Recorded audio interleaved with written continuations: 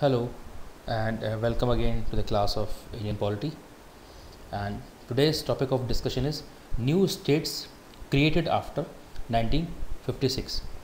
And my name is Dr. Mohammad Danish और आज हम डिस्कस करेंगे 1956 के बाद जो नए स्टेट्स क्रिएट हुए तो उसके बारे में हम डिस्कस करेंगे कौन कौन से वो स्टेट्स थे जो 1956 के बाद वजूद में आए कौन कौन से वो अमेंडमेंट्स थे या कौन कौन से वो एक्ट्स थे जिसके थ्रू नए स्टेट्स का जन्म हुआ या नए स्टेट्स जो थे, वो इंडिया या भारत के यूनियन में जुड़े, ठीक है? तो इससे पहले मैं थोड़ा सा और बता दूँ कि मैंने जो इससे पिछला सेशन बताया था, उसमें मैंने डिस्कस किया था कि किस तरीके से आज़ादी से पहले और आज़ादी के बाद इस नए स्टेट्स का निर्माण हुआ, जो नए स्टेट्स थे, वो बने, कितने स्टेट्स थे क्या क्या प्रॉब्लम्स थी, लोगों की क्या डिमांड थी लैंग्वेज के बेस पे जो नए स्टेट्स का निर्माण हुआ, कौन सा वो स्टेट था जो लैंग्वेज के बेस पे सबसे पहला स्टेट बना और डिफरेंट कमीशंस उनके जो रिकमेंडेशंस थे, उसके बारे में मैंने बात की थी। और लास्ट में जहाँ मैंने स्टॉप किया था, वो था द स्टेट्स रीऑर्गेनाइजेशन एक्ट 1956 जो उन्नीस सौ छप्पन का जो स्टेट्स रीऑर्गेनाइजेशन एक्ट था। तो उसके अकॉर्डिंग लास्ट में हमने एंड किया था कि 14 स्टेट्स और सिक्स यूटीज़ में इंडिया को डिवाइड किया गया था या जितने भी स्टेट्स बने थे। सो so, उसके बाद हमने जो जहाँ स्टॉप किया था वो था आपका new states created after 1956 so वहीं से कंटिन्यू करते हुए मैं आज का सेशन स्टार्ट कर रहा हूँ।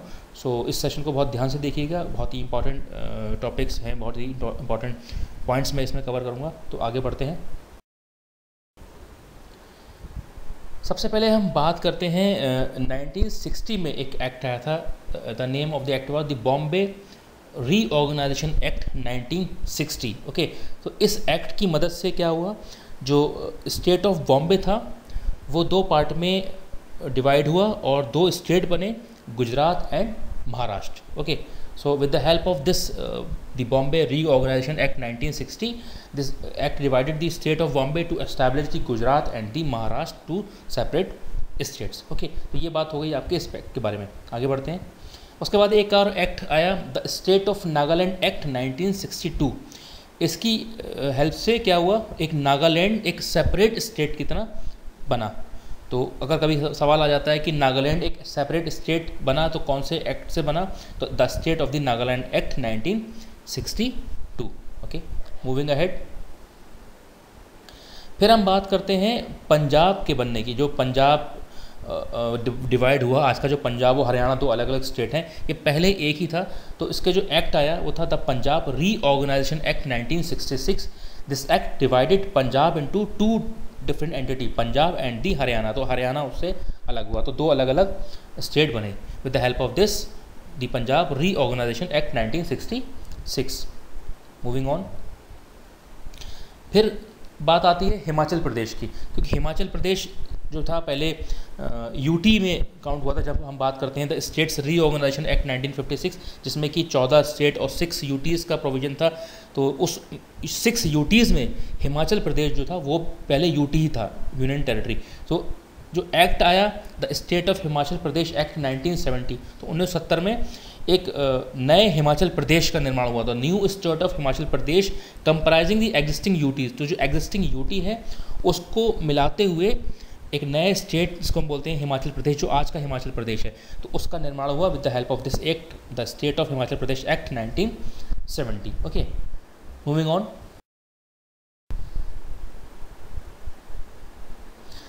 अब हम बात करते हैं नॉर्थ ईस्टर्न एरियाज़ की। तो जो नॉर्थ ईस्ट के एरियाज़ हैं तो उसके लिए एक एक्ट आया था the north eastern areas reorganisation act 1971 okay तो इस 1971 एक्ट के थ्रू क्या हुआ था? जो एक एरियाज़ थे नॉर्थ ईस्ट के, जिसमें Manipur, Tripura, Meghalaya and the union territories of Mizoram and Arunachal Pradesh तो इनका जन्म हुआ with the help of this reorganisation act north eastern area reorganisation act 1971 which led to the new states of Manipur Tripura Meghalaya and the union territories of Mizoram and Arunachal Pradesh similarly 1986 में एक act आया तो उस act में क्या हुआ? जो पहले आपके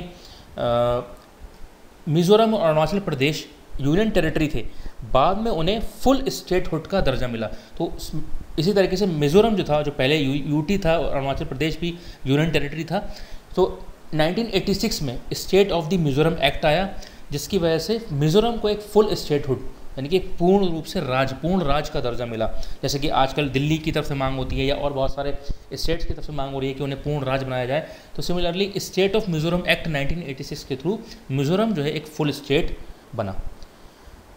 1986 का एक और एक्ट आया था जिसे बोलते हैं the state of Arunachal Pradesh act 1986 इसकी वजह से, इस एक्ट की वजह से अरुणाचल प्रदेश को फुल स्टेटहुड मिली। यानी कि पूर्ण एक राज्य का उसको स्टेट का दर्जा मिला। आगे बढ़ते हैं। अब हम बात करते हैं सिक्किम की। सिक्किम की अगर बात करें जाए तो उसके लिए जो है एक कॉन्स्टिट्यूशन में अमेंडमेंट करना पड़ा और उस अमेंडमेंट का नाम था the constitution thirty six amendment act 1975 जिसकी वजह से सिक्किम का निर्माण हुआ। सिक्किम जो एस्टैब्लिश हुआ, वो इस्टेब्लिश हुआ दी कॉन्स्टिट्यूशन 36 अमेंडमेंट एक्ट 1975 ये क्वेश्चन बहुत बार एग्ज़ाम में आया है और ये कई बार जो एग्ज़ाम में आया, वो अमेंडमेंट से पूछा जाता है कि कौन से अमेंडमेंट से हुआ थर्टी सिक्स अमेंडमेंट से या थर्टी सेवन्थ अमेंडमेंट से या थर्टी एट्थ अमेंडमेंट से तो इसका राइट आंसर है the constitution thirty six amendment act nineteen seventy five led to the establishment of Sikkim आगे बढ़ते हैं। अब हम बात करते हैं गोवा की। तो जो स्टेट ऑफ़ गोवा एक्ट 1987 उसके आने से गोवा को एक सेपरेट स्टेट बनाया गया यूनियन का, जो यूनियन ऑफ़ इंडिया का जो यूनियन है, जो स्टेट्स थे, उसमें गोवा को एक सेपरेट स्टेट के तौर पर जोड़ा गया the state of Goa act 1987 okay तो ये बात हुई गोवा के बारे में। ना हम बात करते हैं मध्य प्रदेश, यानी कि एमपी की। ठीक है? सो छत्तीसगढ़ जो था जो छत्तीसगढ़ का जो निर्माण हुआ और छत्तीसगढ़ जो मध्य प्रदेश से अलग हुआ तो उसके लिए एक एक्ट आया था the Madhya Pradesh reorganisation act 2000 which led to the establishment of Chhattisgarh और क्या डेट थी उसके लिए? फ़र्स्ट ऑफ़ नवंबर 2000 तो कई बार क्वेश्चन डेट से कर, आ जाता है कि किस डेट को छत्तीसगढ़ का निर्माण हुआ तो फ़र्स्ट ऑफ़ नवंबर 2000 को ये एनफोर्स हुआ या इसे कह सकते हैं एक फाइनल जो एक स्टेट की फॉर्म में इसे बोल सकते हैं कि being a separate state from the MP okay तो किस एक्ट की वजह से आया था? तो ये एक्ट का नाम मैंने बता दिया, Madhya Pradesh reorganisation act 2000 okay which led to the establishment of Chhattisgarh. आगे बढ़ते हैं। अब हम बात करते हैं उत्तरांचल के बनने की। उत्तरांचल जो बना, वो उत्तर प्रदेश से अलग होकर बना। तो उत्तर प्रदेश का एक एक्ट आया था, Uttar Pradesh reorganisation act 2000 which led to the establishment of और the formation of Uttaranchal. And on which date it was on eighth of November 2000 यानी कि 8 नवंबर 2000 को, सन 2000 यानी कि 2000 को, इस उत्तरांचल का निर्माण हुआ with the help of this act that is called Uttar Pradesh reorganisation act 2000 moving on अब ये जो उत्तरांचल बना तो ये कौन कौन से वो डिस्ट्रिक्ट्स थे?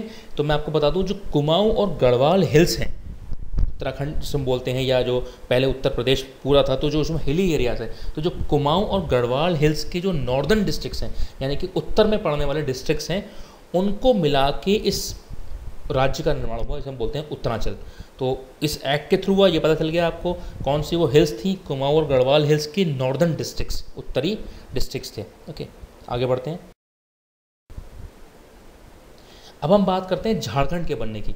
तो झारखंड का जो निर्माण हुआ तो Jharkhand got establishment from the Bihar reorganisation act 2000 तो जो एक्ट आया था, Bihar reorganisation act 2000 which led to the formation of the Jharkhand and this was this happen on fifteen of November 2000 यानी कि 15 नवंबर सन 2000 को इस झारखंड का निर्माण हुआ, और with the help of this act जो कि मैंने आपको पीपीटी में दिखा रखा है the Bihar reorganisation act 2000 moving on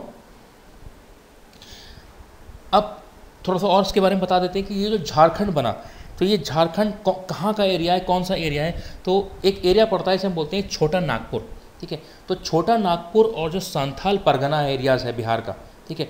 तो उसके जो सदर्न डिस्ट्रिक्स हैं जो दक्षिणी दक्षिण के एरिया में यानी साउथ के एरिया में जो डिस्ट्रिक्ट पड़ते हैं तो बिहार का जो छोटा नागपुर और जो सांथाल परगना है, उसके जो सदर्न डिस्ट्रिक्ट्स हैं, उनको मिला के झारखंड बनाया गया। तो झारखंड का जो एरिया है, वो है आपका छोटा नागपुर और Santhal Pargana area of Bihar including the southern district okay moving on अब हम बात करते हैं रिसेंटली तेलंगाना के बनने की। जो तेलंगाना स्टेट बना, जो कि आंध्र प्रदेश से निकला है तो Andhra Pradesh reorganisation act 2000 which led 2014 which led to the state of Telangana. And on second of June 2014 तो ये डेट कई बार पूछ ली जाती है कि 2 जून 2014 को तेलंगाना स्टेट का फाइनली बनना तय हुआ और किस एक्ट से आया? तो एक्ट हो गया आपका आंध्र प्रदेश रीऑर्गेनाइजेशन एक्ट 2014 तो ये बात करी हमने सारे स्टेट्स के बनने की, ठीक है? कि 1956 के बाद जो भी स्टेट्स बने 1956 से पहले जो एक एक्ट आया था, दी स्टेट रीऑर्गेनाइजेशन एक्ट 1956 तो उसमें बात की गई थी चौदह स्टेट्स और सिक्स यूटीएस की।